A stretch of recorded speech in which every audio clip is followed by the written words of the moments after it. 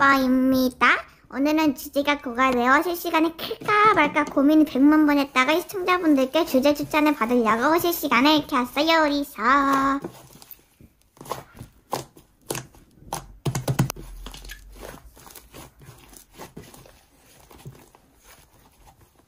그러니까 먹을 거 다 먹고 나서 사장한테 환불해달라 항의하는 진상국에 말씀하시는 거죠?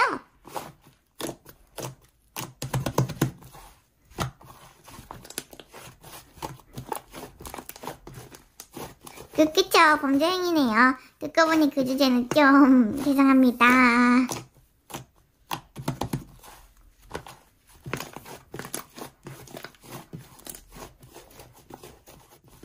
오, 혹시 보미ям님도 추천해주실 주제 있으신가요? 기대 기대.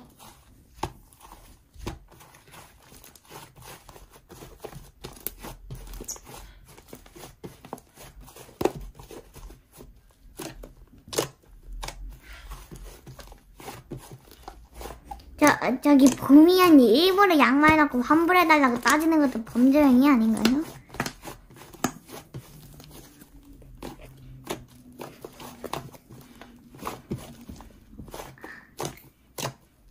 또 생각나셨다니요. 새로운 주제인가요? 괜찮으면 이걸로 해야지.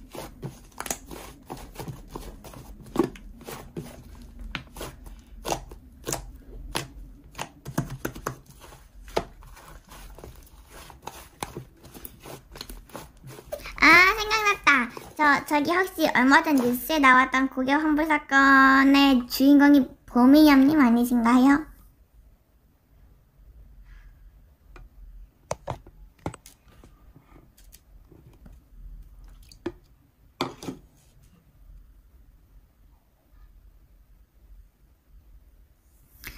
가온님 들으셨죠? 대화 내용 캡처해서 경찰서에 제보해주세요.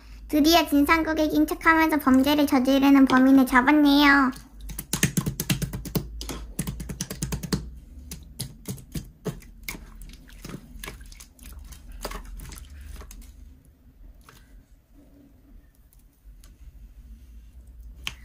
그러게요, 하하. 그나저나 가온님 신고해주셔서 감사합니다.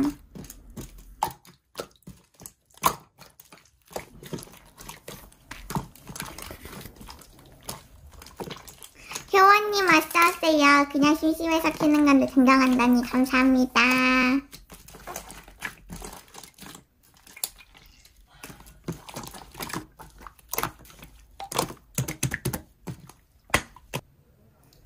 네, 네, 제가 중학생이요? 아하하, 효원님이 제 나이를 잘못 알고 계셨군요. 저는 중학생이 아니라 10인0인데요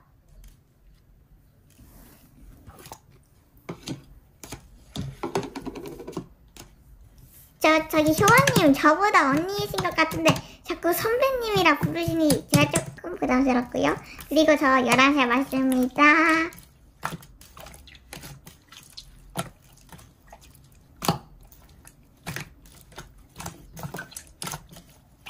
근데요, 제가 실명녀가 아니라고 말한 적 없고요. 실명상이나 Q&A 할 때도 이미 다 밝혔는데요.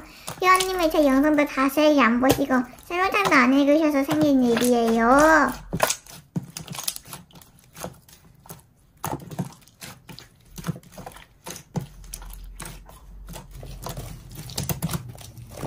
저기 효원님 혹시 넷범절이라고 모르세요? 특히 이런 애깨기에서 지켜야 되는 예의가 있는데 반모 사이가 아니면 나이가 어리더라도 존댓말을 써주셔야 해요. 저희는 반모 사이도 아닌데 그러니 제가 효원님보다 어리다는 걸 처음부터 아셨어도 저에게 반말을 쓸수 없으시고요. 저도 효원님에게 언니라고 부를 수도 없어요. 그래도 불편하시다면 제가 차단시켜드릴까요?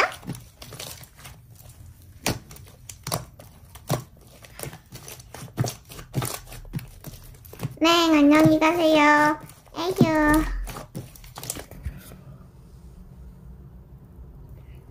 예치큐님 왜요? 무슨 일인데요? 싸운다고요? 뭐 때문에 싸움이 일어나는 거죠?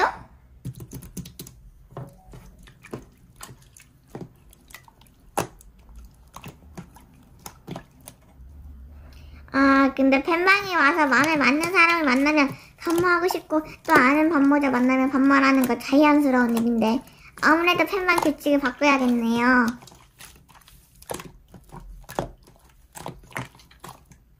네, 앞으로 팬방에서 서로 반모를 하거나 아는 반모자 만나면 잠깐 반말로 인사하는 거 허용합니다. 한마디로 침묵 가능입니다. 하지만 되도록이면 다른 분들을 위해서 존댓말로 대화해 주세요. 그렇다고 반말 쓴 거에 대해서 경고는 없습니다. 또 바꿀 사항 없을까요? 사람들이 주로 뭐 때문에 경고를 받나요?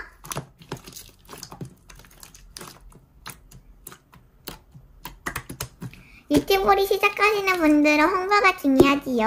아, 그럼 본인이 운영하는 유튜브 채널 홍보와 링크는 가능한 걸로 바꿀게요. 꼭 본인 유튜브만 홍보 가능한 걸로. 네, 이제 홍보 가능하십니까? 많이 많이 알리셔서 유튜브 흥하시길 바래요. 여러분, 벌써 시간이 이렇게 됐네요. 오늘도 제 채널에 와주신 분들 행복과 행운이 가득하시길 바래요. 그럼 전 내일 또 찾아오겠습니다. 모두들 안녕히 계세요.